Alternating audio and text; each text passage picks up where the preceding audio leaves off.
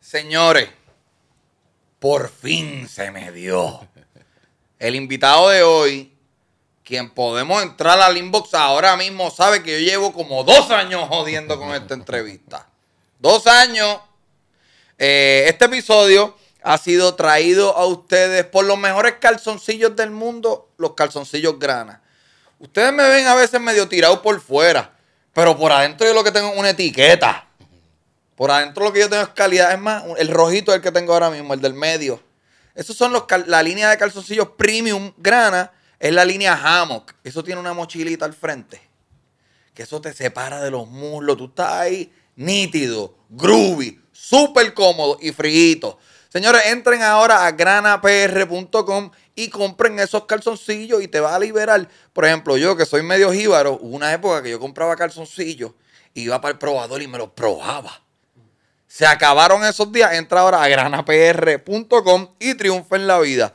Gracias también al corillo de StressNote. StressNote es un producto impreso en máquinas de 3D printing para liberar el estrés, para eliminar pensamientos negativos, para distraerte, para entretenerte y para robarle al prójimo, porque eso es lo que está pasando con los StressNote de aquí. Por eso es que tienes que comprar más de uno. Si tú vives en una casa y hay ocho personas, señores, compren ocho. Entra ahora a stressnot.net o síguelo en StressNot Official en todas las redes sociales. Señores, casi nunca, por motivos de cómo funcionan los medios o la cultura popular, uno tiene la oportunidad de entrevistar a un productor.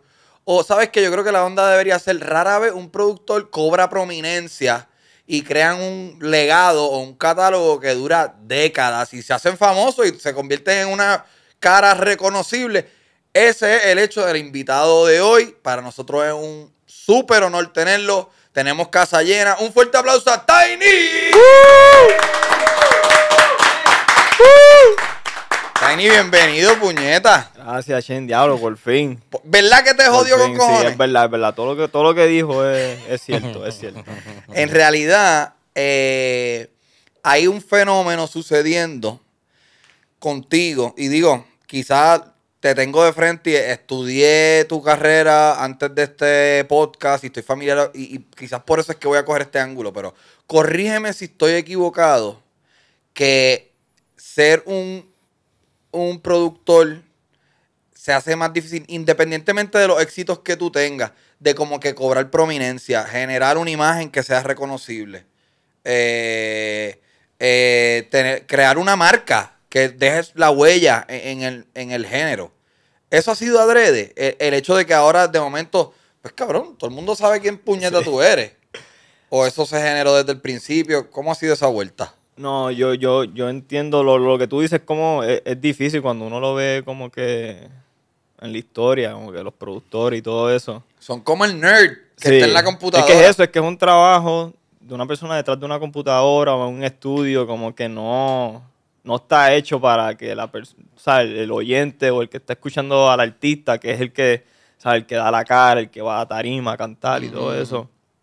Como que la gente no, el que no es nerd de la música, no está chequeando quién, quién es el productor o como que no conoce mucho porque por muchos años todo era como que tras bastidores todo el tiempo. Y, ¿sabes? Como que en el proceso yo para mí yo estaba feliz, contento con quedarme ahí tranquilo, eh, hacer mi música y ya. Este, o sea, soy medio como introvertido de, por sí. So, era un trabajo que me, caía perfecto, porque lo que tenía que estar en el estudio, hacer mi música y ya.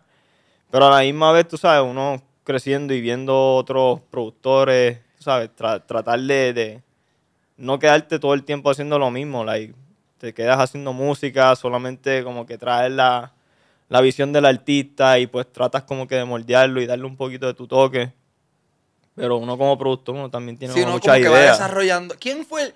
Porque cuando yo pienso en, productores que generan una marca como tú, pienso en par de gente, pero son estadounidenses. Pienso en Pharrell, pienso en Timbaland, eh, en eso, en, en Kanye, obviamente, Kanye West. Eh, eh, ¿Estoy correcto por donde voy? ¿Son influencias? Son influencias mías. So, de ahí yo creo que empezó a ver como que, ¿sabes? Hay, un potencial de que también ver cuáles son las ideas de ellos, qué son, quiénes son ellos como personas, su estilo, lo que quieren hacer, tú sabes. Uno como productor, uno trata de hacer lo que, el- ¿sabes? lo que el artista quiere hacer en ese momento, pero tal vez uno tiene otras ideas y unas cosas que quiere hacer. So, ¿Cómo uno consigue una plataforma para hacer eso? Como que virar la moneda y que ellos Ah. tam- tal vez se incorporen en Sí, eso. como que yo imagino que eso te ayuda, te comandas más dinero. También. Es como que.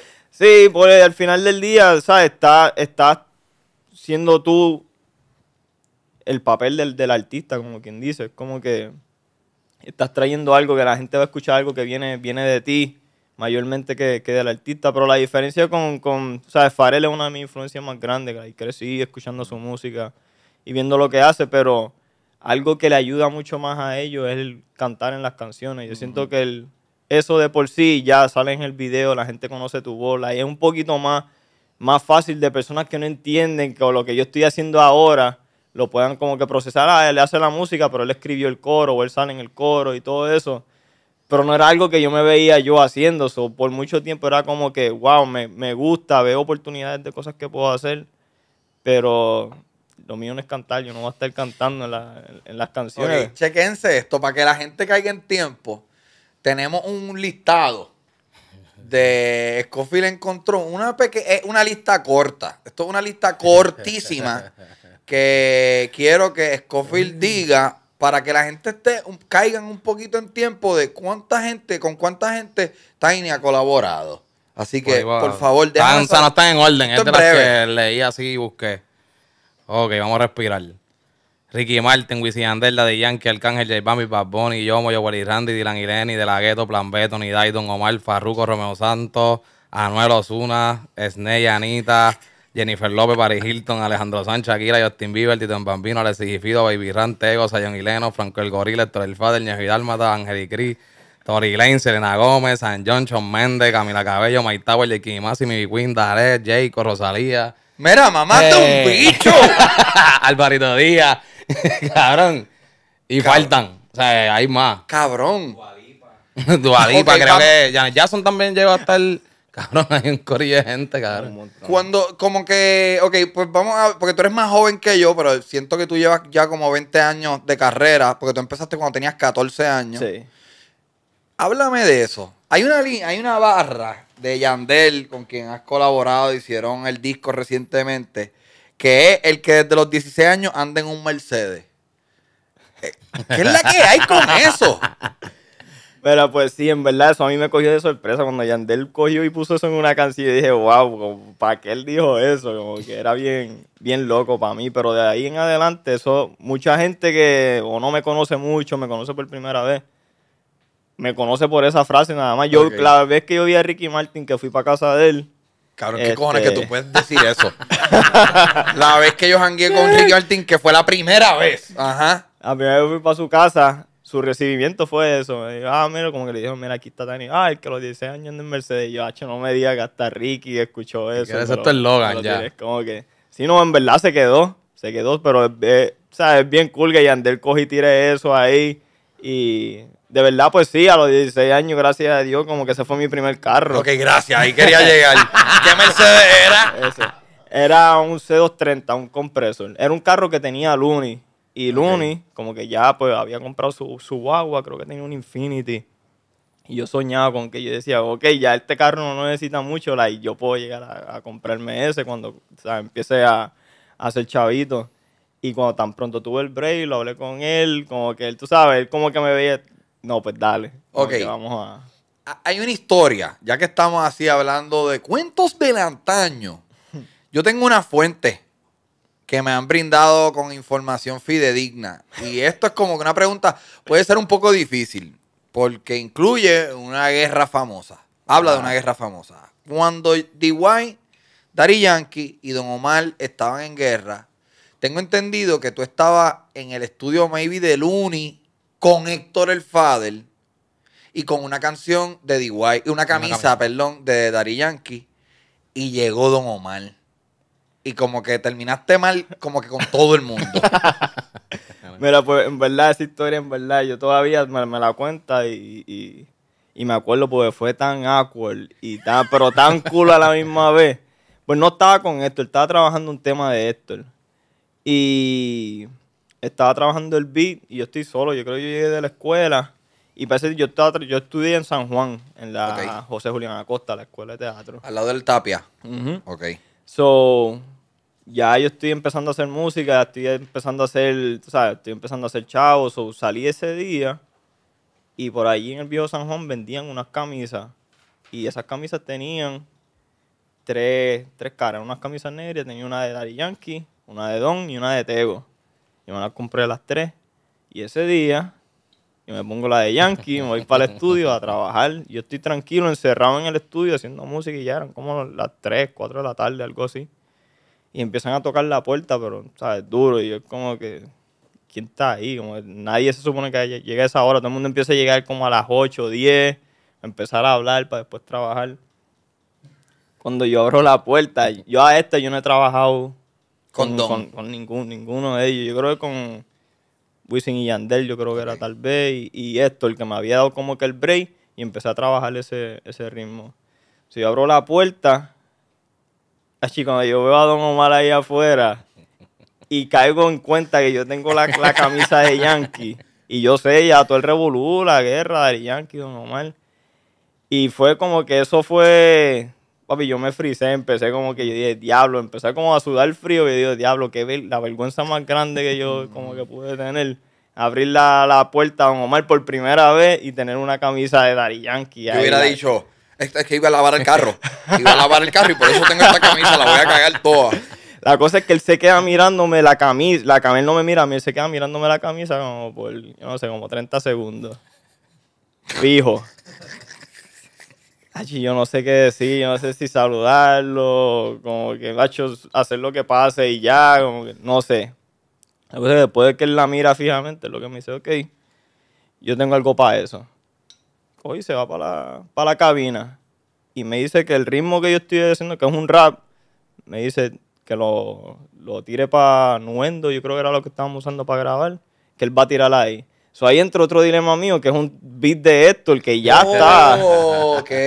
Ya el beat está hecho para Héctor. So, ahora yo tengo que decirle a Héctor, no, el beat de Don Omar, que lo voy a usar ahora para yo no sé qué. Él dijo que él se quiere meter a la cabina y él quiere ese ritmo. So, tan pronto ese hombre se sienta ahí. y Oye, que mucho te ha pasado eso. A ti como que te ha pasado eso varias veces en la historia. Ajá. Papi, se pone el hombre los audífonos, no sé, no me acuerdo si estaba, era Naldo o Bones, no me acuerdo cuál de los dos estaba ahí, empezaron a grabarlo.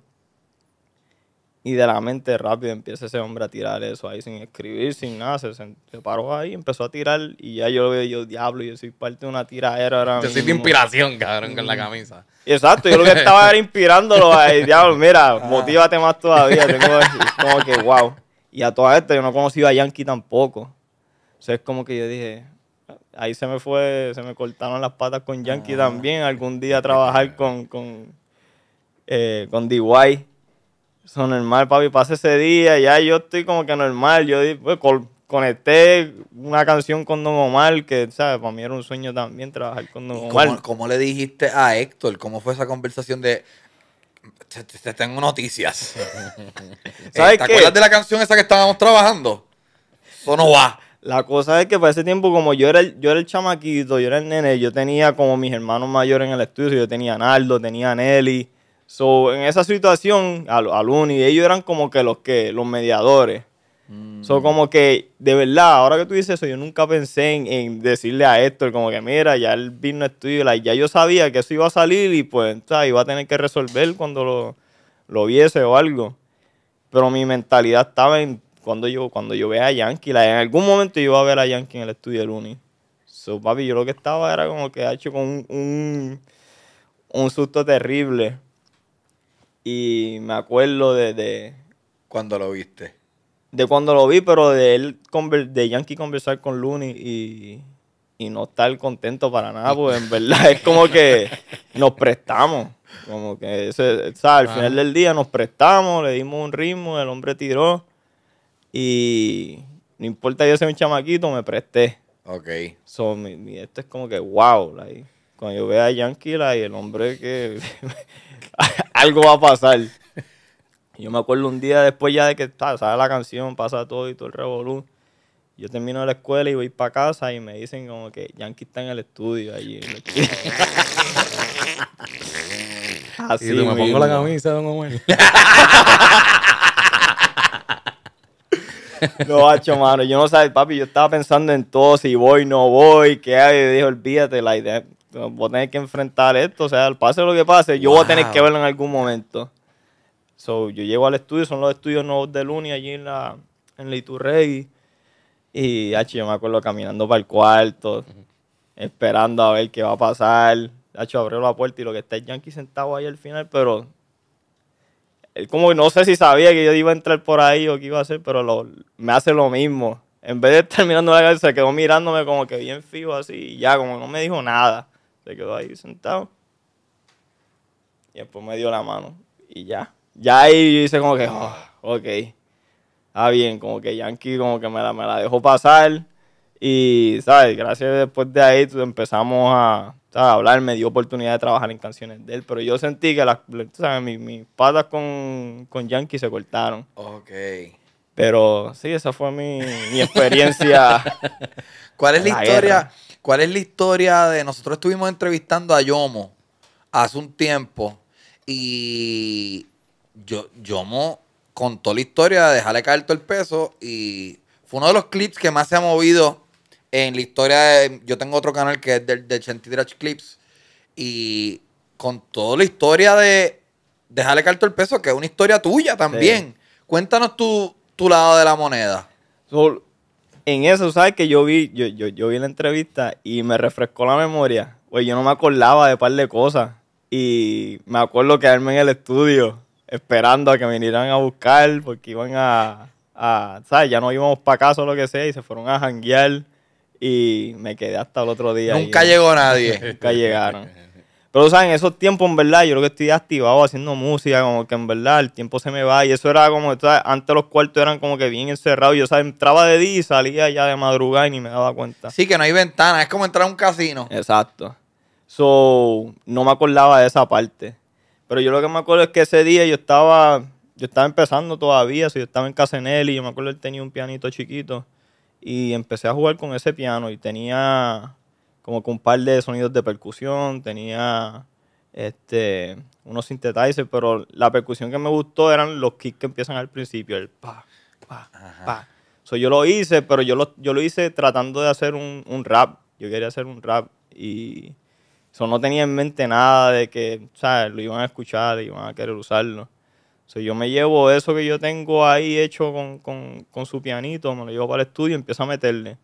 Y así mismo llega Héctor, llega este Yomo y 40 personas más se meten al, a- al estudio y lo mismo, escuchan lo que yo estoy haciendo y dicen, hey, ¿qué es eso? Y es como, nada, un ritmo yo estaba haciendo ahí. Pero esto, la que, donde yo se la doy, como que él tenía mucha visión en cuestión de a dónde él veía. La canción era un rap, pero él veía el potencial de que él podía hacer una canción de reggaetón. Y yo, como un reggaetón con esto, porque no, no me hacía sentido. Eso me fue diciendo, no, tú le metes como que, le metes unos strings o algo, le metes un tempo de esta parte, deja esto de intro. Wow. Y empecé como que a armar lo que él me estaba diciendo, pensando que era un disparate. Pero fue. El gordito sabía. No, fue cogiendo, fue cogiendo verde y es como que, diablo, like, salió algo cool y cuando ya armé la parte de reggaetón, teniendo el, in- el intro, era como que el flow del, del beat. todo el- ¿Y esto todo fue tiempo. antes de lo de la camisa? Esto fue, yo creo, yo creo que sí, Sangre Nueva. Diablo, Pero tiene que ser como, sí, sí, tiene que ser la misma, la misma. Pero ven acá, ahora que tú dices eso, el secreto de, de- de- eh, tu éxito no es precisamente porque usabas sonidos de hip hop en reggaetón. ¿Fue ahí veces. cuando empezó? Yo siento que cuando yo empecé a traer un poco más de influencias mías, que, de cosas que me gustaban, fue cuando yo empecé a ver como que interés. Pues yo llegué al estudio, pero igual todavía yo estaba como en el cuartito de arriba haciendo, replicando ¿Qué el mismo que cuartito de arriba? ¿Qué es el cuartito de arriba? En el estudio viejo de Looney estaba el cuarto de abajo, que era el, el- el estudio de Looney Tunes. Pero ellos hicieron un cuarto de arriba, como un seteíto. Y ahí cuando yo llegué, cuando por primera vez me filmaron, es donde yo empiezo como que a, a producir. Porque abajo era como que el, cuarto de los pros, del- de, los... Ah, tú estabas como de en un calabozo. Exacto. Ok, qué cosa cabrona. Pero, pero, en verdad me, me, me motivaba, pues yo lo como que veía a todo el mundo entrando y saliendo de ese cuarto, haciendo música, y yo tratando como que de hacer mi vuelta, pero yo lo que estaba replicando lo mismo que ellos hacen, soy yo es como que ya ellos son los más duros haciendo ese sonido. No voy a poder como que sobrepasar eso, yo tengo que traer algo diferente a la mesa, o empezar a traer influencias de hip hop que a mí me gustaba un montón, el rock, a mí me encantaba, o empezar a traer distorsión y usar percusiones de hip hop y ponerlas en un compás de reggaetón. Sí, yo leí que, que tú eres, que una de tus influencias es Linkin Park. tú sabes que, eh, uno de los discos de hip hop que más paleta yo le he dado fue Fort Minor. A mí me encanta de Fort Mike Minor. Shinoda, Mike Shinoda, eh. Yo, eh, ese, sí, yo nunca volví a escuchar un, un, disco, por lo menos cuando yo era bien fiebre de comprar CD y las specs como un loco que fuese tan variado con, con temas grandes, que sonaban como grandes, con sonidos bien arriesgados y, es como que, ah, por supuesto, este mamabicho de fucking Linkin Park. Sí, no, por eso es una de mis influencias más grandes, por eso mismo, porque él produce también, eso, tener eso como que... Ah, no sabía. Todo eso de Fort Minor es su, es su producción. Más él es el que compone sus su, su, letras, compone, componía con Chester en Linkin Park y todo eso todo eso, que a la misma vez es hip hop mezclado con rock, por eso como que me, voló tanto la cabeza como mezclaron dos géneros. eso es lo que yo quería traer, tú sabes, a, mi sonido, o empezar a incorporar un par de esas cosas. Timbaland lo que estaba haciendo con el, ¿sabes? Con el pop y todo, trayendo sintetizadores y cosas, tú sabes, un poquito más, más modernas era lo que yo podía hacer, que yo decía, estas son mis influencias, déjame ponerlo en música, pues no lo estoy viendo en, en tú sabes, en Looney Tunes, en Nesty, en Nelly. Y poco a poco, tú sabes, de momento pasaba esto y por ahí decía, ¿qué es eso? Déjame escuchar. Y escuchaban un poco. Después venían Wisin y Yandel y escuchaban algo. Poco a poco empezaron a dar break, pero yo creo que en Sangre Nueva fue donde me pude como que probar. Pues me dieron libertad, pues nadie, nadie de verdad al principio estaba bien, tú sabes, pendiente a a Sangre Nueva eran un montón de demos y chamaquitos y Naldo estaba encargado, pero mientras fue cogiendo forma, se convirtió más en, que los, los duros iban a, presentar a, sus artistas y ahí fue que cogió el, el, concepto. Yo vi un contenido tuyo en donde, nada, el contenido se llama, es que ahora mismo no lo encuentro, el contenido se llama como que haciendo una canción de reggaetón en cinco minutos. Creo que es el canal de Slang. Entonces tú dices pues usualmente yo empiezo con la melodía. Y nada, de momento en cinco minutos tú haces una cosa puta que dije, porque no le he dado eso a alguien. Digo, quizás te lo has dado y no lo, no lo caché, pero eh, eh, ese, ese es tu modus operandi, como que siempre sacar la melodía o a veces empiezas con, con percusión o... Sí, varía, en verdad. Yo siento que la mayoría del tiempo sí empiezo a buscar un sonido principalmente, algo que, me guste y ya de ahí como que, ok, me gusta el sonido, vamos a buscarle una melodía, pero hay veces que tengo algo en la percusión en, la mente y empiezo a, crear un groove o algo que, que me guste cómo suena y ya de ahí entonces empiezo a ver qué tipo de melodía le caería a, esa percusión. Eso, todo el tiempo es como que diferente, pero yo al final del día yo no, yo no, yo no sé tocar piano, yo no sé, o sea, yo nunca estudié música. Pero tú usas un teclado para componer. Yo lo, yo lo uso, pero es más empezar a buscar melodías y en el camino si encuentro algo que me gusta empiezo a practicarlo, tú sabes, por un par de segundos y me lo aprendo un poco para poder ya, ya grabarlo. Pero la mayoría del tiempo es, ¿sabes? o buscando el sonido y, con el teclado mismo yo puedo ponerme en el piano roll y hacer la, las melodías. Eh, pero todo lo he hecho de oído. Como que al principio, pues sí, tenía cosas fuera de tono y cosas así, pero fui como que aprendiendo, pero nunca estudié música. todo lo mío es como se sienta, como que. Pero en la escuela esa al lado del tapio, ¿eso no es una escuela de música? De teatro. Ah, ok, cabrón. Que no me enseñaron nada de, música. Ok. ok, y, y ¿tú sabes actuar? No. Yo no sé cómo yo Mira, yo estuve ahí pendejeando. Estuve ahí, no hice nada. La pasé que veíamos el tapia y yo iba para mi casa. No, créeme que hoy mismo me preguntaron eso, like, so, ¿actúa o te gusta actuar? Y yo de verdad, yo no sé cómo yo entré. Yo sé que yo tenía que hacer un monólogo. A mí me dieron como una página de un libro yo lo hice porque yo quería, yo quería ir a la Central, porque a mí me gustaba dibujar, era lo que me gustaba. Y el año que yo entré no, no había cupo. So, tenía que buscarme otra escuela hasta el próximo próximos Coño, años. pero sabes que ya eso, eso enseña un compromiso de tus papás también. Como que decir, ¿sabes qué? Eh, eh, el nene tiene cositas como de artista. Tampoco es que en Puerto Rico hay tantas alternativas de educación creativa o artística, pero están esas dos escuelas. Y es como que, ok, en artes plásticas no hay, pues vamos a poner al muchacho aquí en teatro. Eso también, o sea, tu familia te apoyó entonces desde el día uno. Sí, que eso es otra cosa que también estaba hablando. Like, al final del día, mi mamá, yo siento que cuando yo Hay empecé a otra hacer... cerveza ahí. Si quieres otra, Ah. hay otra ahí. Ajá. Al, al final del día, yo siento que cuando yo empecé a querer hacer música y me enteré que era Fruity Loop y quería una computadora, yo no tenía computadora hasta que empecé a hacer este, música. Y yo sé que yo empecé a pedirle a Chico como que por favor necesito una computadora para hacer esto. Yo sé que ella no entiende nada de lo que yo le estaba diciendo, like Fruity Loop, hacer el reggaetón, like, nada de eso. Yo sé que no, no era algo que, era fácil de entender para un papá que no entiende nada de esa área de, de- de la música.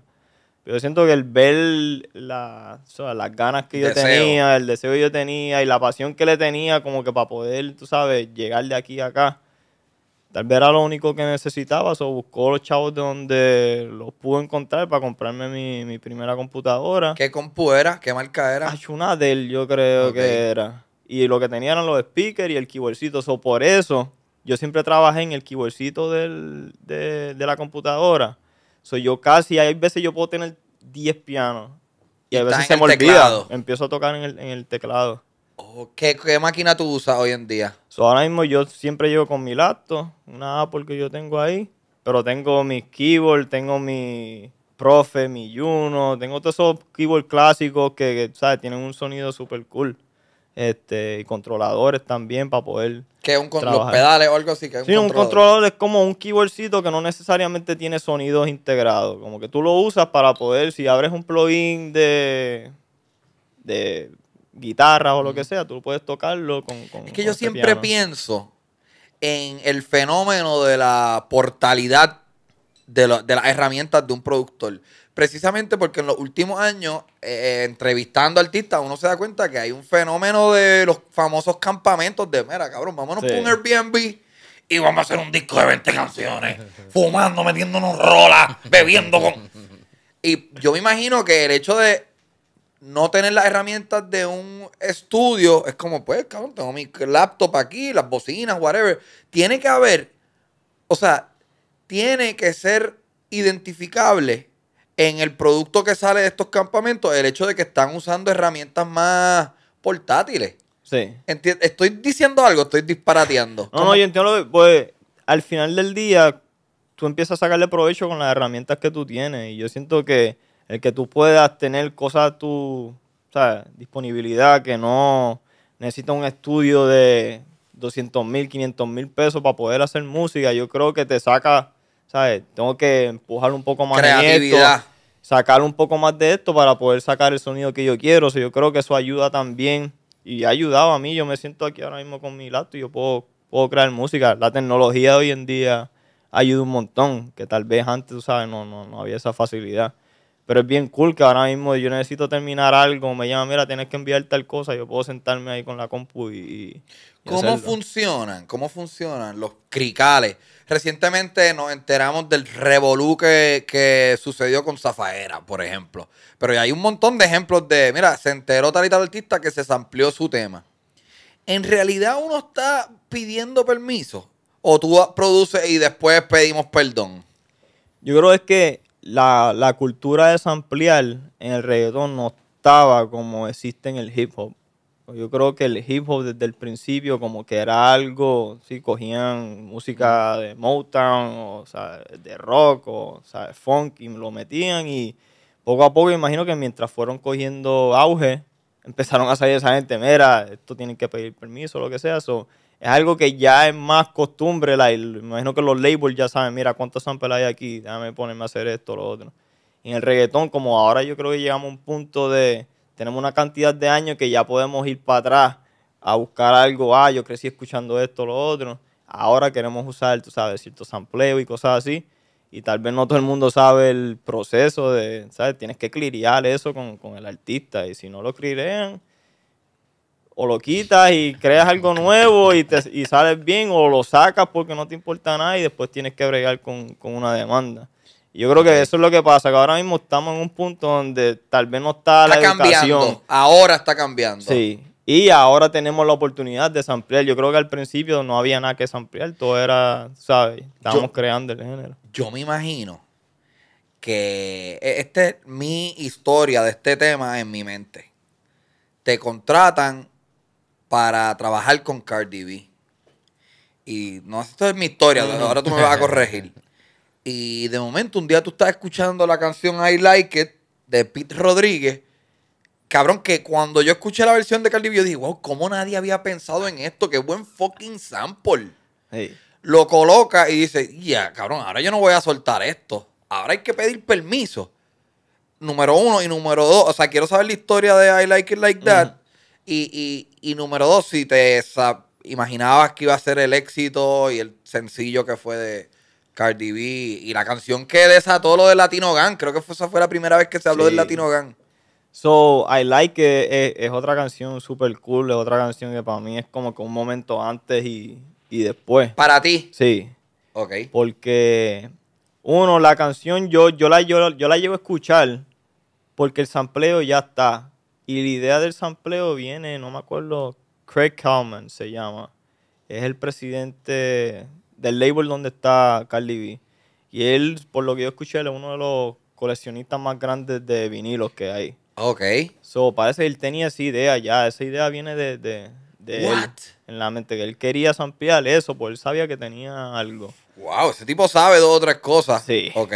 So, de ahí como que empiezan ¿sabes? a trabajar el tema. Ya tienen el sampleo. O en verdad, ya con eso, tú lo que tienes que agregarle ciertas cosas. El junte correcto, o sea, la lírica que es. Porque ya en verdad el vibe está con el sampleo. So, yo me acuerdo estar con José, con Balvin en el estudio. Y la canción originalmente pues tenía un kick snare como que para, para que él pudiese grabar, este, para que Cardi pudiese grabar. Y escucho a José pues trabajando en el tema. Y. Eso fue lo, lo único que vi como que al, al- momento. Y después de ahí yo me voy para LA a un campamento de, de Anita. Y trabajando en el campamento, o sea, en esos momentos que estamos afuera hablando, o sea, cogiéndonos un break, viene uno de los AIR del, del tema y del proyecto de, de Cardi. Esos son como los, los scouts de la música. Exacto. So, él es como el que estaba encargado de poner, tú sabes, todas las piezas donde van, like, si hay que contactar a tal persona o dirigirlo de cierta manera. Y pues él viene con el presidente, con Craig. Y ya yo lo conocía, que él se llama Edgar Machuca, porque él estaba la vez de la sesión de, de Balvin que estaba grabando el, el verso. So él me dice, mira, ven que quiero presentarte a Craig y cuando voy lo, ¿sabes? lo conozco, él me dice, no, mira, él, él trabaja en reggaetón, él ha hecho todo esto, lo que sea. Y, y él como que, Craig le dice como que, so él puede ayudarnos entonces en el, en el tema que necesitamos. Y él dice, ah, claro que sí, baby. yo no sé de qué ellos están hablando terminan de hablarlo, ¿sabes? Nos, nos presentaron y todo eso. So, cuando se va, él me dice, bro, si puedes ir para el estudio después de aquí, este, para trabajar en un tema. Y me dice, yo creo que tú lo escuchaste, es el de que Balvin estaba grabando, que necesitan, tú sabes, ya llevarlo donde se supone, como que parece que tenía algo, pero no era por completo. Está el sample, que era lo más So, importante. cuando Balvin grabó, no estaba ese, eh, no, no, no era una producción tuya. Sí, Ok, lo que tenía era como, quien dice, una base. No, ok. Y pues de ahí yo sigo mi sesión porque todavía estoy en una sesión y la termino y se termina como a las una, yo creo, de la mañana, algo así. Saliendo de ahí, yo me acuerdo, yo, "Diadre", yo le dije a Edgar que yo iba a ir para allá a, a trabajar en eso, pero yo estoy de verdad bien cansado porque llegamos ese mismo día al horario de Leizo y ya yo me estoy durmiendo en la sesión de, eh, Anita. de Anita. So, yo llego al hotel y le escribo como que, mira, bro, salí esperando que él me diga, ah, bro, tranquilo, dale, te veo mañana. like, este, no problem. Y me dice, duro, estamos aquí, estamos ready.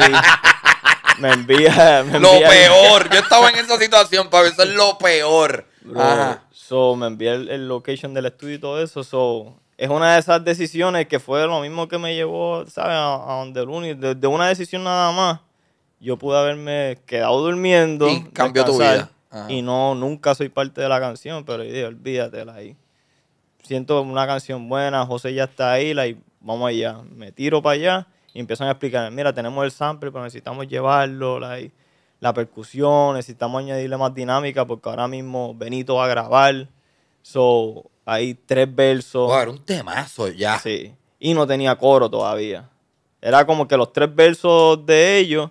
Entonces la canción es, es larga, tenemos como que empezar a añadirle cosas que la hagan sentir interesante, porque si no es como que aburrido escuchar todos los chanteos más los tres coros, es como que hay que meterle eso. De ahí empecé a darle un rato, me quedé ahí como hasta las 5 de la mañana y me fui para el hotel y ya de en adelante nos quedamos como en comunicación porque lo que hice esa noche a Craig le gustó. Y se sentía. Pero ¿sabes qué?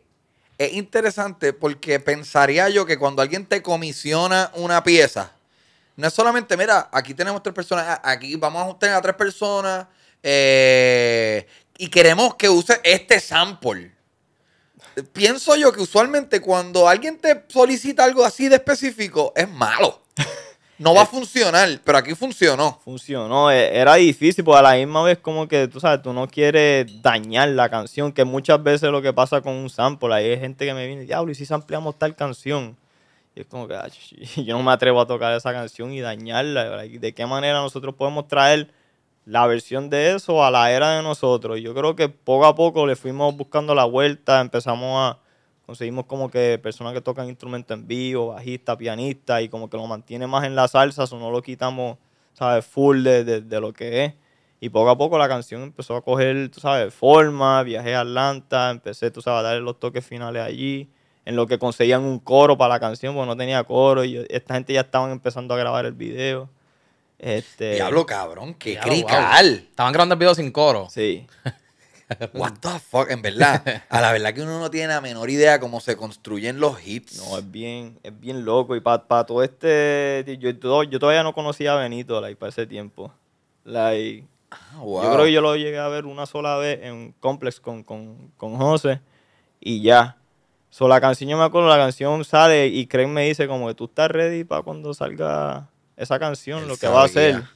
Y de verdad yo sentía, porque como es un disco de Cardi, es en español, inglés, yo decía, bueno, la canción va a ser cool porque tiene a tres caballos. Pero yo no sé qué Cardi tiene en su disco, yo no sé qué prioridad le van a dar a esa canción. ¿Tú piensas que no le van a dar prioridad? Yo pienso que no, yo siento que va a ser una canción buena, que o sea, la gente de nuestra cultura la va a apreciar, pero no sé si ellos la ven igual que, que nosotros. Pero ellos apostaron a la canción y tan pronto salió el disco, empezamos a ver que la canción que más empezó a coger plays y, y ventas en iTunes 1.4 billones de views, cabrón. Acabo de chequear ahora. Váyanse para el carajo. Ajá, perdón. So, la canción empieza a dar resultados del saque, de tan pronto saca el, el disco. Y tú sabes, de ahí mismo el, el presidente me escribe como que te lo dije, like, tu vida va a cambiar después de este, después de esta canción. Y es como que lo cogí como que, wow, cool, pero no pensé que 100% iba a ser, ¿sabes? Algo bien diferente. Esto fue lo que. Porque obviamente hoy estamos hablando con Tiny. Ya tú has trabajado con Justin Bieber.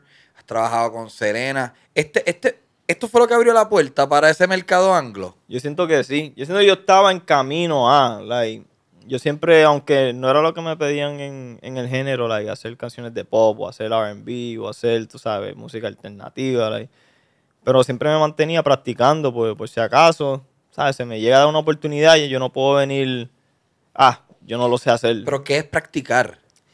en mi tiempo, yo sentarme ahí en el estudio y empezar a hacer un beat de pop, porque me O sea, me tú gusta. fogueas. Es como foguear. Sí. Es Wow. como que tratar de ver si tengo ¿sabes? la capacidad de poder hacer algo de respeto. Si yo le quiero presentar a alguien que hace esa música, lo vea como que, wow, está. está So, cool". a veces tú te sientas a practicar. Tú, tú a veces dices como que hoy voy a practicar. No creo que es la mentalidad de, de- de que voy a practicar, sino voy a hacer la, la- el beat que me salga. Tal vez siento que quiero hacer un beat de, de pop. Tal vez mientras lo estoy terminando yo sé, nadie me va a pedir Esto es una mierda, ¿ok? Pero lo voy a dejar aquí porque en verdad a, a mí me gusta. De vez en cuando lo voy a enseñar. Me vi a alguien que va a decir, like, hey, eso está cool. Como me, me ha pasado con Austin, con Arcángel. Me ha pasado a veces con Wisin y Yandel. Pero no eran muchos. So, como tú cuando, que- cuando tú te sientas con un artista, tú abres tu computadora y es un ejercicio de escúchate esto, escúchate esto. ¿Cuán, cuán, sabes? Para los efectos me imaginaría yo que tú tienes un catálogo infinito de cosas que escucharle. Tú tienes que seleccionar un folder, como que esto suena a ti. ¿Cómo, cómo es el proceso de tú picharle una idea a un artista? Pues depende, por lo menos en el, en el género, como que siempre ha sido, like, enséñame qué tienes, like, enséñame un par de ritmos ahí. So, normalmente si yo sé, ah, viene Austin hoy, de los beats que yo tengo, y empiezo a poner cosas que yo siento conociéndolo a él, diablo, esto le puede gustar, como que esto tal vez es su estilo, o maybe está buscando algo en este estilo. Pero te tiro como que dos o tres que yo digo, "Ach, yo no creo que esto le guste, pero lo voy a, lo voy a tirar ahí. Muchas de las veces la que tiré así es la que le gusta. Wow. Que, pues para mí esa es como que mi, mi idea. Yo pongo un poquito de todo en el folder que yo tengo. Pues, como me ha pasado, me sorprenden que lo que yo pienso que no les va a gustar para nada es lo que le termina gustando. Tú sabes que nosotros estábamos hablando, yo soy, nosotros aquí somos bien panas de Alvarito, yo conozco la carrera de Alvarito desde siempre. Y tú fuiste el productor de su primer hit, de las chicas de la isla. Chica de Sí, la Chicas isla. Yo ni, yo ni sabía que yo había hecho como que una de sus primeras canciones así como... Pero tú sabes lo que yo pienso cuando, es que nosotros tuvimos una conversación de esto ahorita, es como que ya, cuando Alvarito va a empezar, ya tú has trabajado con Wisin y Yandel, con Yankee, con Héctor Fader, con Yomo. O sea, ya tú eres un super productor de renombre. ¿Cómo, sabes? ¿De dónde sale ese deseo de mano? Estoy buscando aquí chamaquitos nuevos. Es de esto, fue hace ocho años ya también, pero ¿qué es? Que tú estás metido en SoundCloud, tú estás en una búsqueda eterna de nuevos talentos. Esto es que él reached out. Yo siento por lo menos con lo, con lo de Álvaro, es que empezamos a ser un poquito más contemporáneos. Like, yo siento que cuando yo empecé, todo el mundo era 5 o 10 años mayor que yo. Wow. So, es como que yo no tenía una conexión así tan cercana con los artistas, más que enseñarle un par de ritmos, pero no podíamos hablar de muchas cosas. like. Lo que a mí me gustaba, yo no sabía ni qué día 3 era. So, era como que siempre había como que un gapcito entre el artista y yo en cuestión de... Sí, me imagino a Tiny queriendo hablar de Pokémon y estos cabrones enseñando sus pistolas. Mira, cabrón. Como, ¿podemos hablar de fucking Power Ranger un minuto? Más o menos. Pero, tú sabes, conociendo a gente, en, ¿sabes? En, en la industria, Víctor Tunes de, de los Looney Tunes, era bien amigo de, ¿sabes? del corillo con el que andaba Álvaro. So, nosotros, ¿sabes? En el estudio, las veces que, ¿sabes? Acompañaba a Víctor y salíamos un rato, conocía a Álvaro ahí.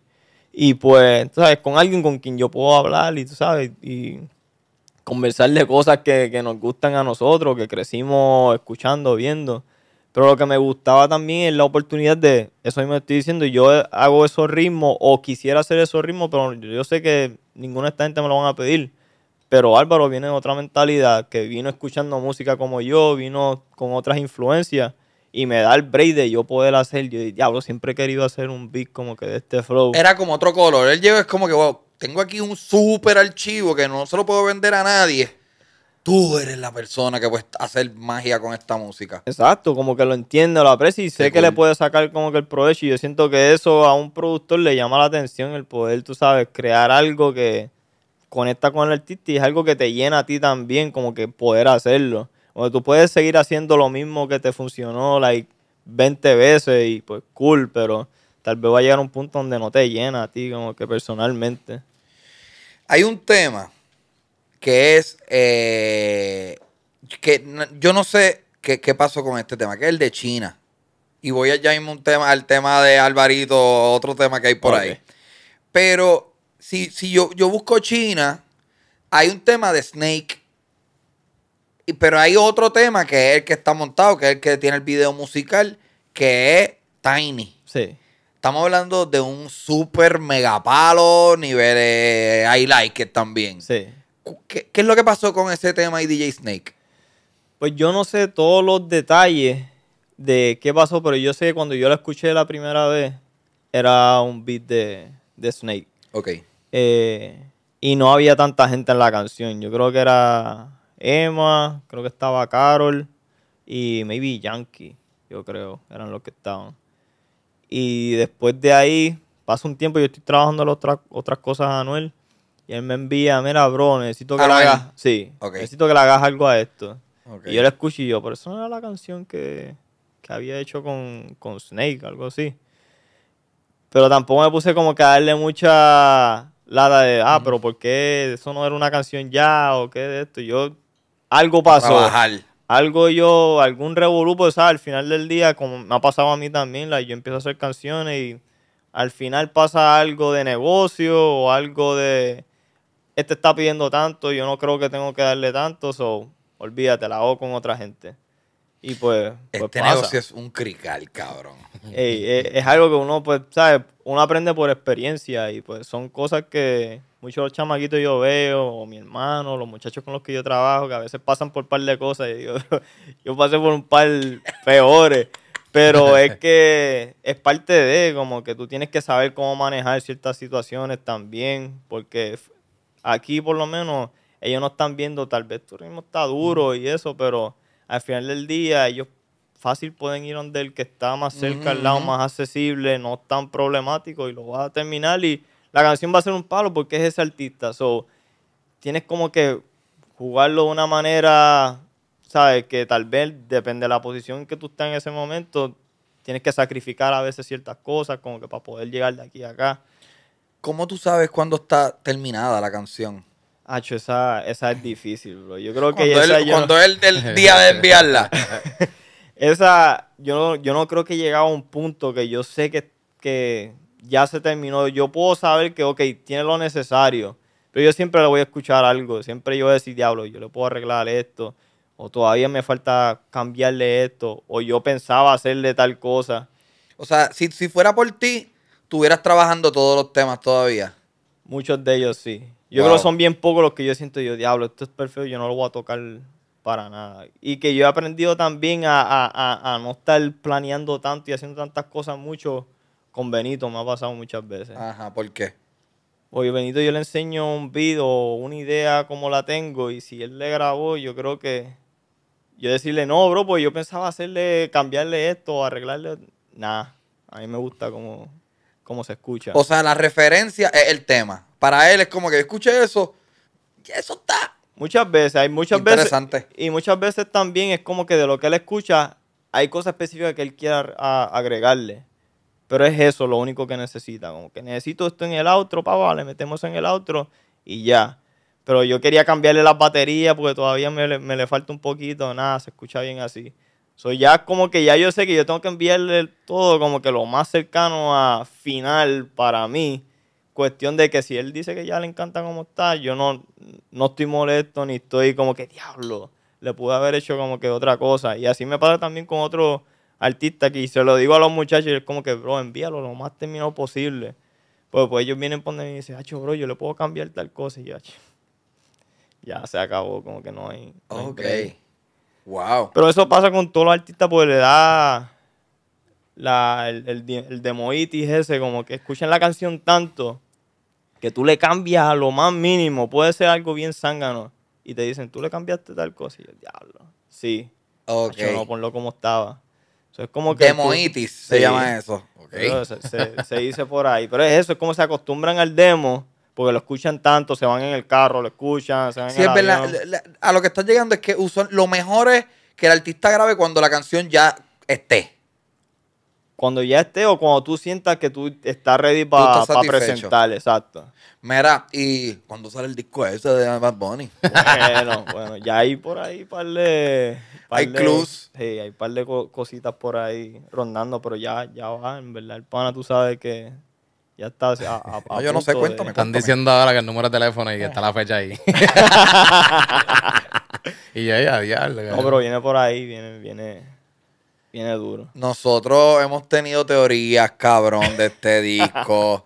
Obviamente ya hemos escuchado una cosita aquí, allá, hay un reggae. Sí. Escuchamos un afrobeat. Nosotros aquí por Audi nos ha inculcado el fenómeno que era afrobeat. Estamos, estamos bien ansiosos.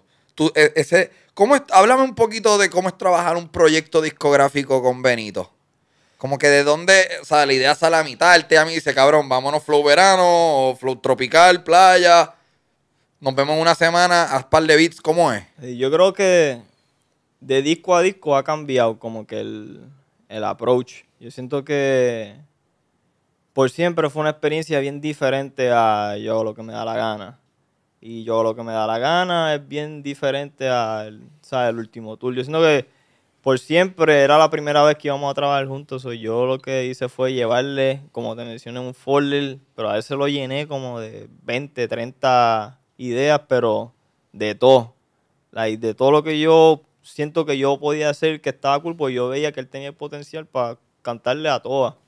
So, yo le envié de todo y de ahí viajar para acá, este, sentarme con él, tú sabes, hablarla, conocernos, a ver, y caímos en cuenta de que ¿sabes? nos gustaban las mismas cosas de chamaquito y que era, no, era ni de música nada mala, y nos gustaba Fast and the Furious, nos gustaba este Limp Bizkit, nos gustaba este, qué sé yo qué, los videojuegos, el básquet, hay un montón de cosas que empezamos como a conversar y yo vi como que también podíamos incluirlo en la, música que hacemos y, pude ver también sus gustos. Cabrón, hicieron un disco, hijo de puta. Ese disco cambió la historia de la música urbana, cabrón. Sí, no, para mí en verdad yo siento que al final ese va a ser uno de mis, mis discos preferidos de, de trabajar pero es por eso, es por la conexión que hubo y, y, y todas las ideas que él me da, pues él viene de producir también. So, él sabe, tú sabes, diablo, a esto le podemos añadir esto y si tratamos esto.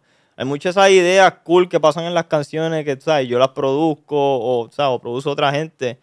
Muchas veces son ideas de él, cosas como que él dice, ah, y si hacemos este cambio aquí o le añadimos esto acá. Y es como que eso a mí como productor me motiva. Y es como que, diablo, que demasiado sería eso. ¿Caro es tuya? Caro, sí. Cabrón, ese es mi tema favorito del disco. ¿Cuál es tu tema que tú dices, wow, o un tema que todavía escuches? Wow.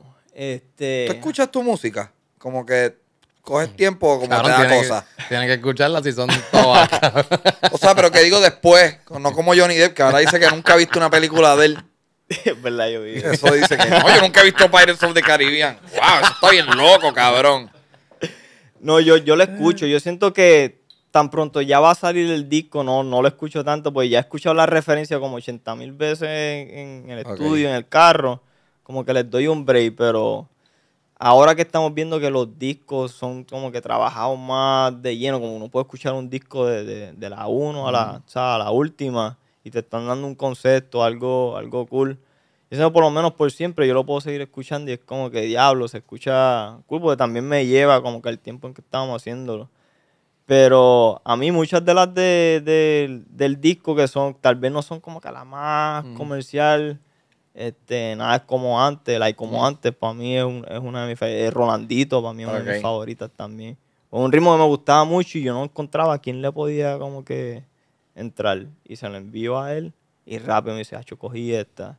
Y diablo, yo lo que estoy loco por ver qué, qué, va a hacer este hombre. Y es que son grandes.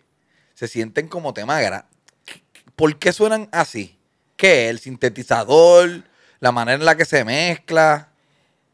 Yo creo que es una combinación de, de todas. Y yo siento que yo no, yo no creo que, que vengo con una idea de mezcla en mente como que de por sí. Pero la gente que hace música o que conoce, tú sabes, de, de sonido, como dicen, diablo, es que la mezcla tuya o de lo que tú haces de esto yo creo que ya desde tanto tiempo de practicar y encontrar lo que me gusta y mi sonido, es como que lo hago inconscientemente. Yo voy mezclando mientras yo voy mm. produciendo a la misma vez. Y ven acá, ahorita que dijiste, bien al principio del podcast, como que pues la primera vez que yo compartí con Ricky Martín, ¿tú fuiste el que trajiste a Ricky Martín a Caro? No, eso fue él. Pero eso es lo que te digo, son cosas así que yo él me dice, Hacho, bro, este, voy a enviarle esto aquí a ver, para ver si Ricky le tira una. Y yo, Ricky, Eso está bien loco. Yo lo escuché yo. Esto es gay. Ok, wow, qué locura. Y, bro, y después ver que me envían, mira, te envía la voz y escuchar cómo se oye, es como dice, diablo, es que este hombre es un genio, bro. Es como que las cosas que se le ocurren son cosas que yo no pensaría que un artista con el que yo estoy trabajando se le ocurriría. Tal vez a mí yo pienso en algo, pero me va a decir, es un disparate. Pero ver a alguien que tiene, o sea, no tiene como que esa esa mentalidad como que cerrada de que no, tiene que ser así, de esta manera, y así es que se ha hecho todo el tiempo. Sino intentar, bro, es lo que me gusta, y yo a mí me gustaría escuchar la voz de Ricky ahí, eso se lo envío. Y ver que ahora el pana tiene el brillo de hacer lo que le dé la gana y enviárselo a Ricky, que Ricky esté activo y le meta, es como que algo bien demasiado. So, poder compartir, tú sabes, esas cosas con él es demasiado. Sí, eso estoy puta. Ven acá, ¿qué es Neon 16? Neon 16. Son Neon 16, Neon 16, ese es el label que tengo yo con, con mi socio, este, Lex. Y es un label que empezamos eh, bajo Interscope. Y para el principio era algo que queríamos crear, tú sabes, yo siempre crecí, como te mencioné, viendo el hip hop y, y me gustaba. so, yo veía Bad Boy, yo veía G-Unit, yo veía este, Shady Records, yo veía todas estas cosas, y eran como que un corillo y representaban algo, tenían como que un sonido en específico, tenían unas ideas, ¿sabes? Diferentes. Rough Rider, eh, había mucho, muchos crew, como que yo quería en algún momento tener, ¿sabes? Eso, yo, yo entré, ¿sabes? Al principio cuando Looney estaba creando más flow, pero yo creo que más flow como que tenía algo y de momento se fue como que yendo cada cual por su lado y haciendo sus cosas. Si yo quería como que en esta generación que yo estoy viviendo, que nosotros pudiésemos como que ayudar a uno mover todo hacia el camino correcto. Yo siento que no solamente en la música, en el negocio, en, en el, el- el lado business de la música, había muchas cosas todavía que se podían arreglar. ¿Te tripea ese aspecto del negocio del espectáculo? ¿Te interesa? A veces metes la cuchara, es como que no, yo voy a hacer música nada más.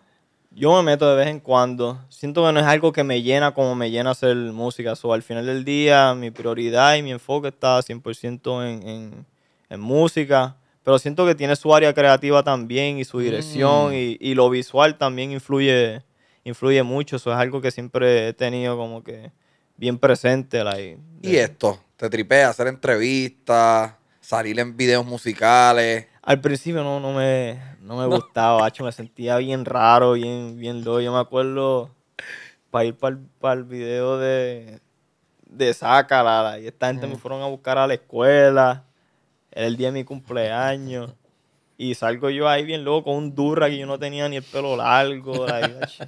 no, pero era como que bien raro para mí, pero co- como te decía, era algo que yo no esperé, no, no estaba, no tenía experiencia en frente a una cámara ni hablar. So, yo era introvertido de por sí, eso era como que bien raro para mí. Pero eso está, eso es más testimonio, cabrón, del talento, hijo de puta. Es como que, cabrón, tienes que salir. Cabrón, ven, mamabicho, Kyle. Sí, el Durrack. Eso está raro, el Durrack. Dale, tráete el Durrack, cabrón. Viene con un Durrack el morón este. Dale, cabrón.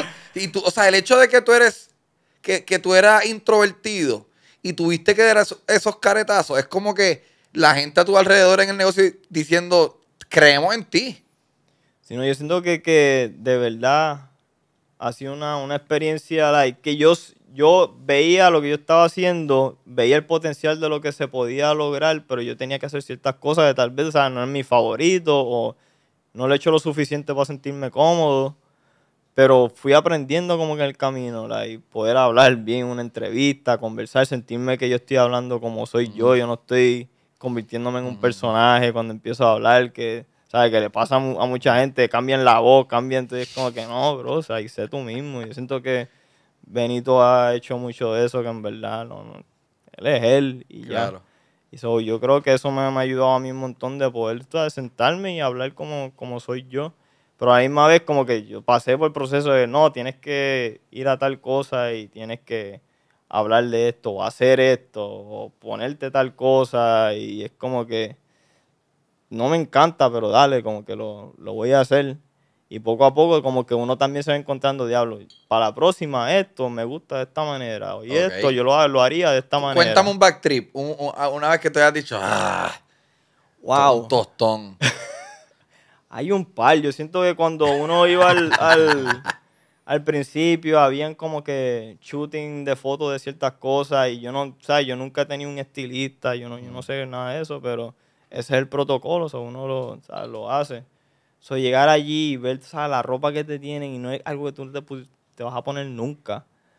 Pero ya tienes que, ¿sabes? Ponértelo porque estás allí. Esas son la- las situaciones donde yo digo, bro, lo voy a hacer, pues yo no voy a hacer el difícil, te voy a dejar aquí arrollado a toda esta gente que está aquí y, ¿sabes? Vamos a, a- a tratar de empezar a, a cumplir y, y- y hacer estas cosas, pero para la próxima ya sabemos un poco más. Necesitamos un estilista, necesitamos decir, mira, yo voy a conseguir mi ropa, yo lo voy a traer. Pero poco a poco, como que en, en entrevistas me vi preguntándome cosas, like, gente que no sabe qué es lo que yo hago. Eh, es bien raro, me quieren, ah, cántate una de tus canciones. Es como que yo no canto. like, Wow. eh, eh, eh, Ay, qué bueno que me dijiste eso. Esa era mi próxima pregunta. no, pero es bien raro porque hay mucha gente que no entendía todo ese tiempo. No, él no, él no canta, él no es, eh, él no hizo, él no canta esa canción o él no escribió esa canción, él es el productor. ¿Cuándo empiezan a colocar tu nombre en los... Yo soy bien de YouTube, yo no consumo casi Spotify. Y de momento empezamos a ver Tiny en, los, en algunos temas, no en todos, obviamente. Entre los nombres, en el título del, del- del YouTube. Sí. ¿Cuándo empieza eso? ¿Eso es algo que se cabildea? Yo siento que, que empezó cuando yo, bueno, el equipo completo, como empezamos a ver de qué manera nosotros podemos empezar a sacar lo que te mencionaba, como que cuál, cuál, cuál es mi, mi visión de yo como Tiny, como, como productor que está haciendo arte, like, cuál, qué, de qué yo quiero, qué es lo que yo quiero proyectar. Y siempre yo he querido hacer mi disco, like, yo siempre he querido, like, yo entré a- al estudio con Looney Tunes cuando están haciendo más flowdoso, yo vengo de escuchar todos esos discos y querer algún día hacer el mío, pero hacerlo de una manera en que, ¿sabes? Tenga su, su propio sonido, tenga un- un concepto diferente y pues empezar a trabajar para eso poco a poco de ver, ok, cuando Tiny saca un tema o algo, es como que este es el sonido, aquí es que se va a ver el, el video, pues a mí me encanta también, tú ¿sabes? Los videos, el, el cover del single, y todas esas cosas son cosas que yo encuentro que son bien importantes, que ahora mismo se le está dando mucha más importancia que lo que yo veía antes. So, poco a poco empezamos como que a buscar la manera, ok, vamos a hacer canciones nosotros, con, el, con los artistas, traerlos como que, como quien dice, a tu mundo, like, qué es lo que tú quieres hacer, ahora? qué estilo de música, y crear un, un sencillo o algo que de aquí en adelante haga un build-up para tu disco, para crear algo que la gente sepa, ah, esta persona estaba haciendo estas canciones, estos ritmos, poco a poco llegó a hacer un disco y ahora entendemos qué es lo que él hace. Yo, Qué si no me equivoco, yo no sé, yo creo que la primera fue Selena Gómez y, y Benny Blanco y, J eh, Balvin. eh. eh, I Can Get Enough. Ok. Yo creo que esa fue la primera, pues ahí fue cuando empezamos eh, Neon 16 y pues es Interscope, Ah. Selena Interscope, Benny Blanco también. So, ahí es donde empezamos por primera vez a, ¿sabes? adentrarnos en, en ese mundo y de ahí pasar a Calladita con, con Benito. Ok. So, yo creo que ahí es donde... Ya lo cabrón, pero arrancaste en fa con Selena Gómez, cabrón. Sí, no, de verdad que no me puedo quejar ahí de... ¿Cómo es eso? Yo, yo, yo te escuché hablando de ese tema en una entrevista, creo que de MTV.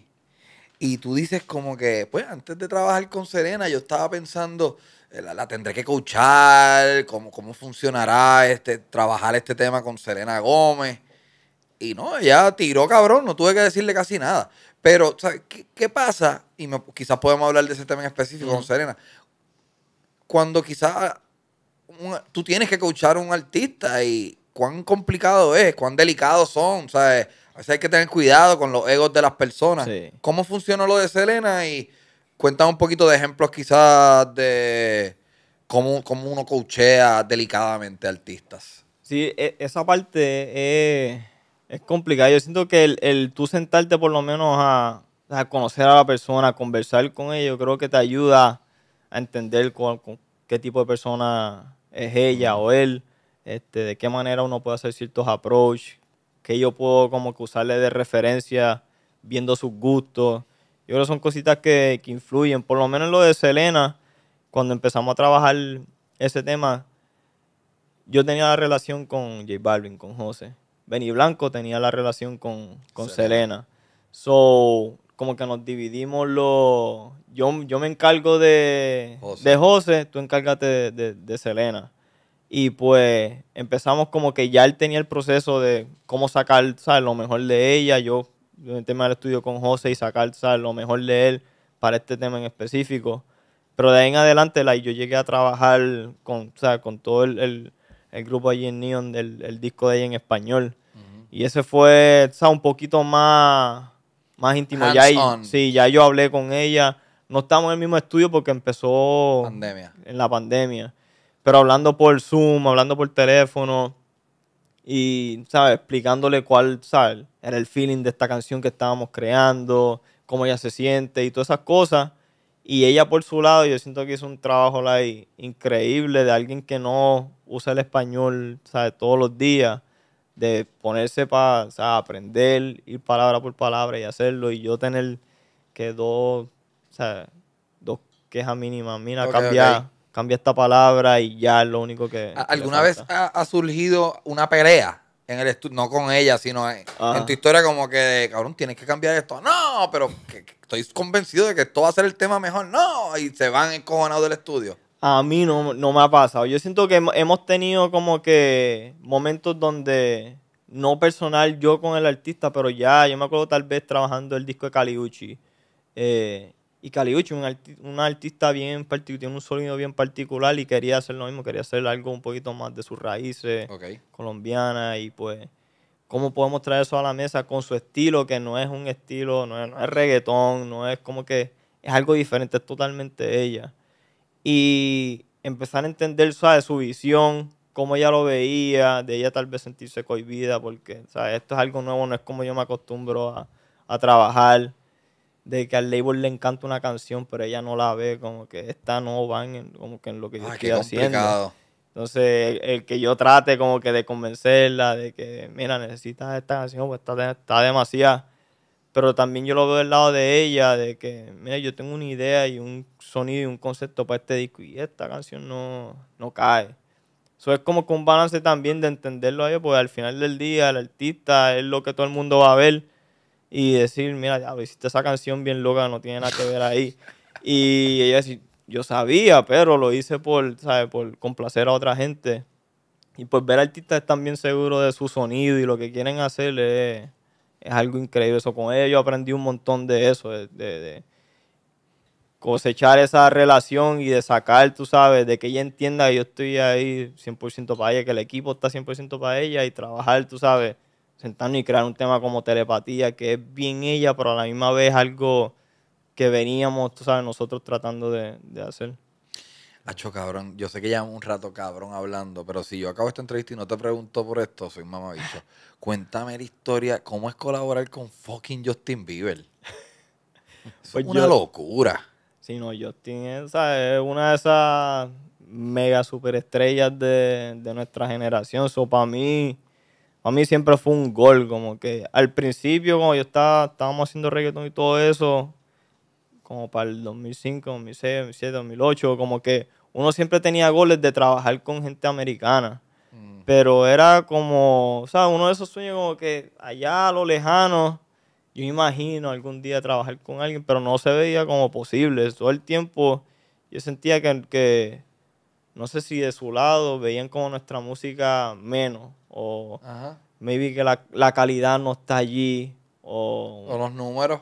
o los números, o, o, o sea, no entiendo esa música que están haciendo. So, veía ese gap de, como decía yo, tal vez hacía música más inclinada a lo que ellos tal vez les gustaría, pero no iba a poder demostrarlo nunca porque nunca lo están escuchando las canciones que yo saco.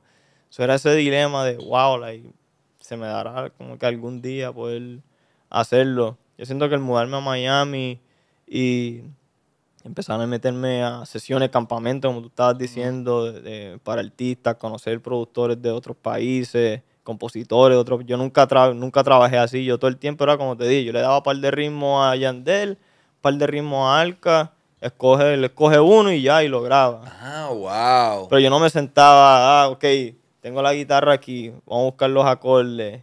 Y tal compositor que hizo todas estas canciones va a escribir, ok, cuál es la temática, ok, yo empiezo a ponerlo ahí, ponerle una percusión. Como que ese proceso yo nunca lo tuve en Puerto Rico. Wow, vete para el carajo, ¿ok?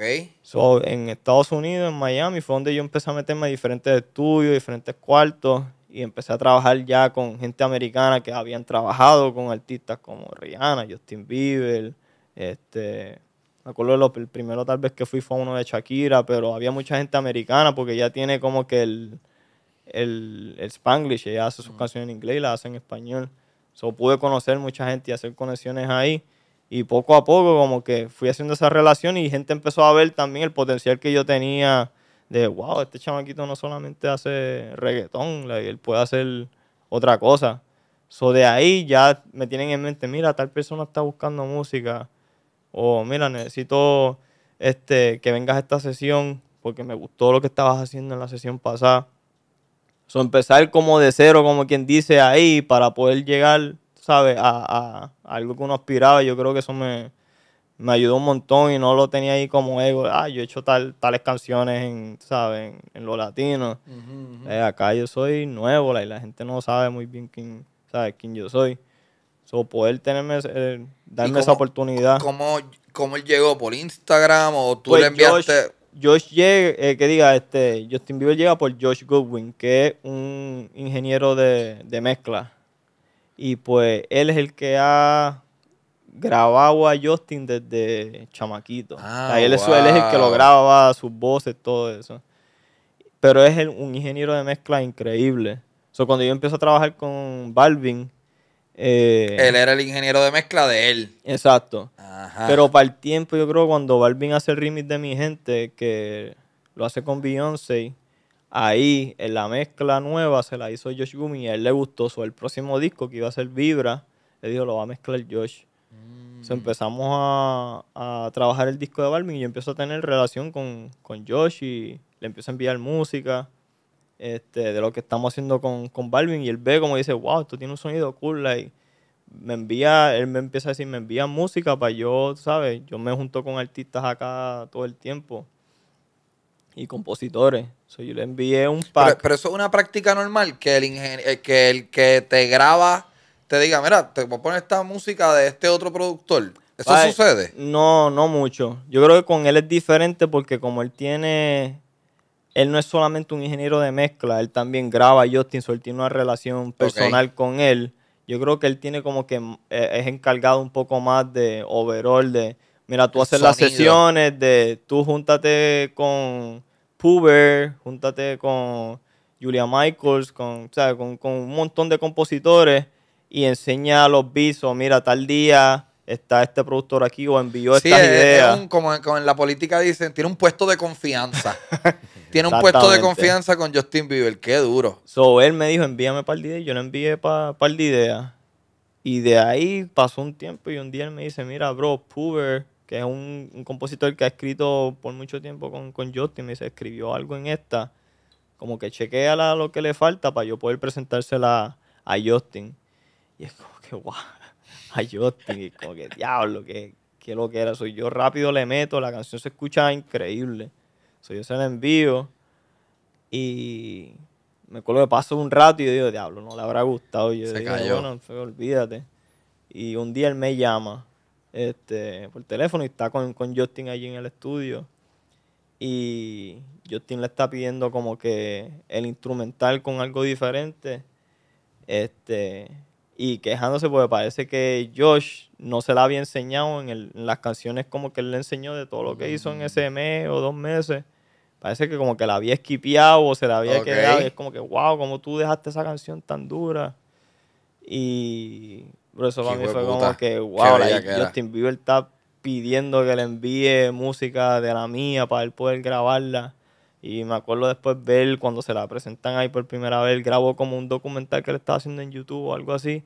Y él escucha la canción por primera vez y es como que ver su reacción y sabes ver que le gustó algo que yo hice que por mucho tiempo yo pensé que era imposible como que un artista americano apreciara No, y algo que el hace. artista. es El artista. Sí, no, Es eh, eh, huge.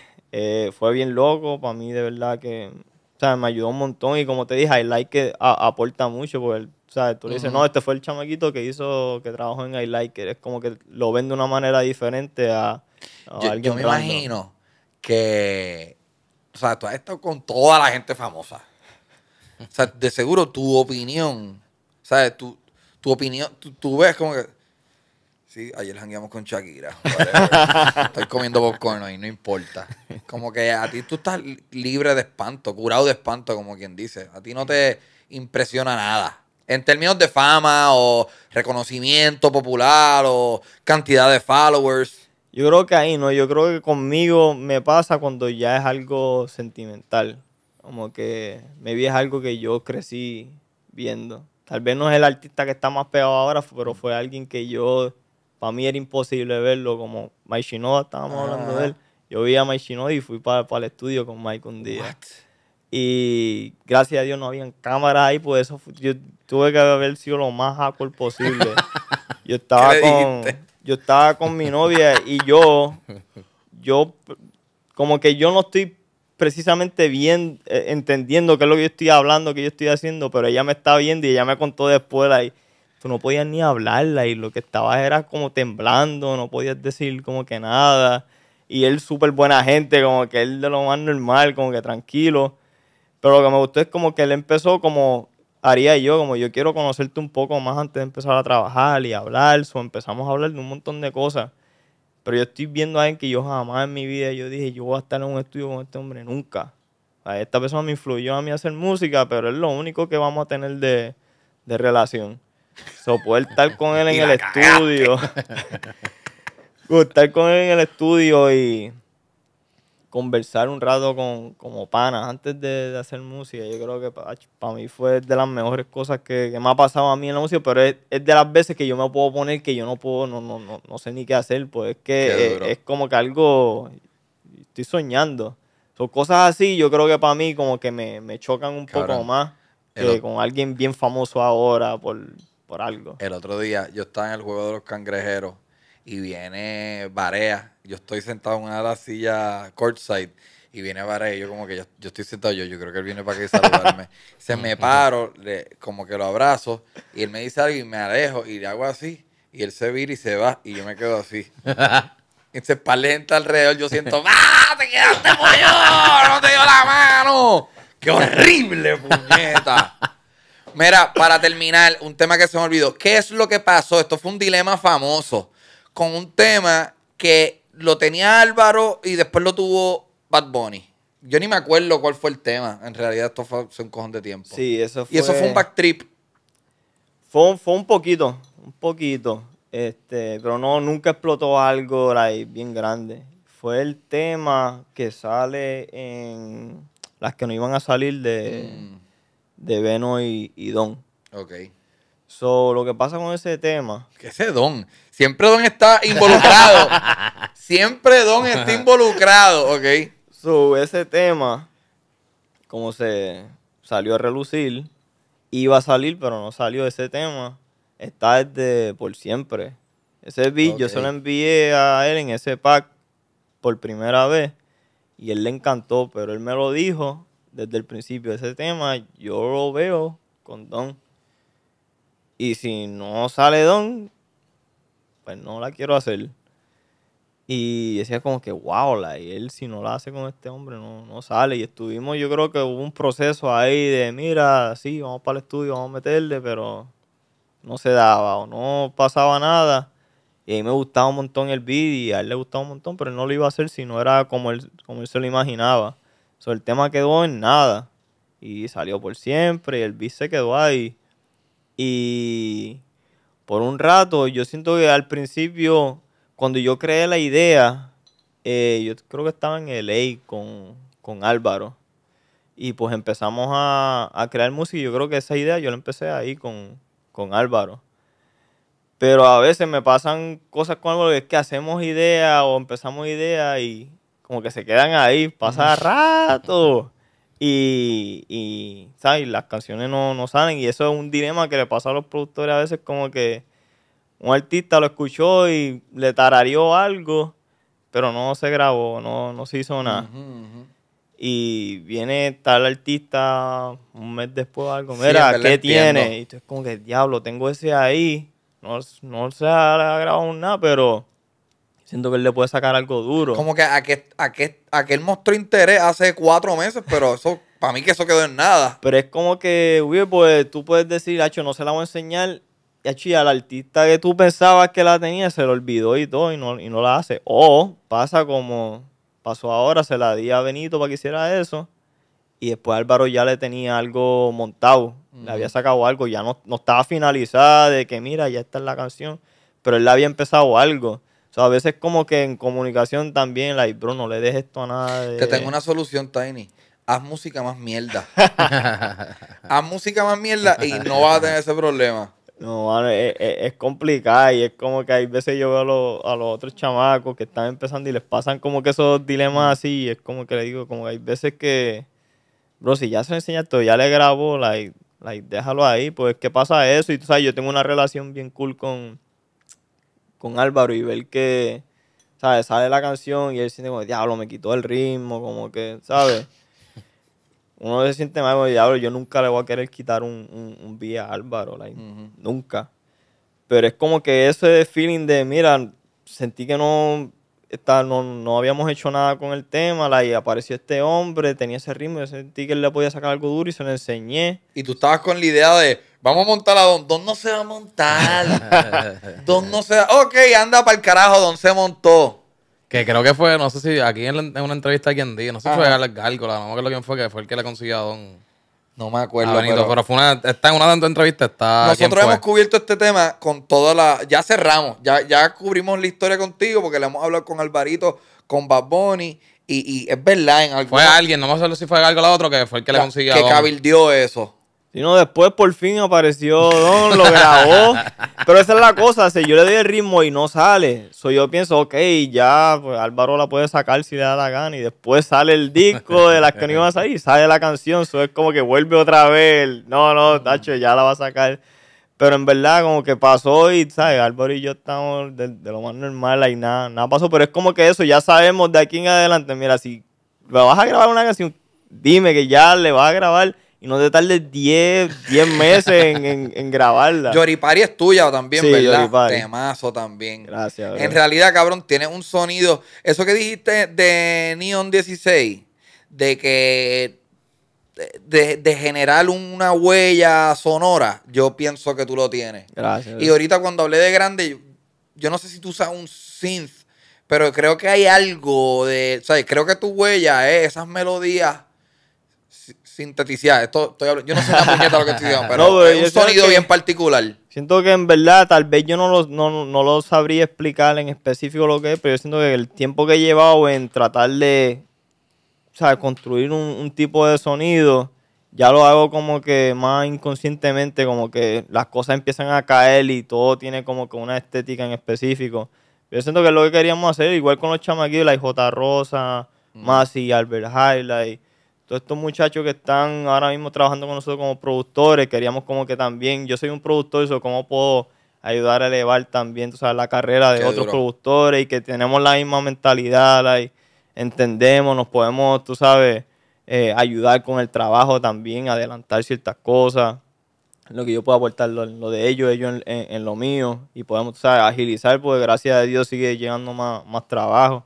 Pero eso al final del día lo que quería era eso, como que poder marcar un momento en esta generación en cuestión de, mira, traímos este sonido, que la gente, ¿sabe? pueda absorber y cogerlo para ellos y crear otra cosa diferente. Cabrón, Tiny, eres un animal, como te dije ahorita, tienes que empezar a hacer música más mierda, no vas a tener problema. Gracias por el rato, sé que eres un tipo bien ocupado, eh, sé que tienes un viaje mañana, hay cosas secretas sucediendo en estos momentos. Más adelante se enterarán de cosas que yo le dije, podemos hablar de... No, hablamos la... Ok, cool. Este, todo el mundo, tus redes son Tiny, ¿verdad? Sí, Tiny ya. Wow, el beneficio de haberlo escrito así. No, pero y no T-I-N-Y. Sí, ahí estuviese chaval. Ahí sí que, que estuviese mal. Pero al principio no era Tiny, era Tiny y tenía mis dos iniciales, MM. ¿De verdad? Sí. Y Balvin me ayudó a conseguir mi, mi Tiny solo. Ok.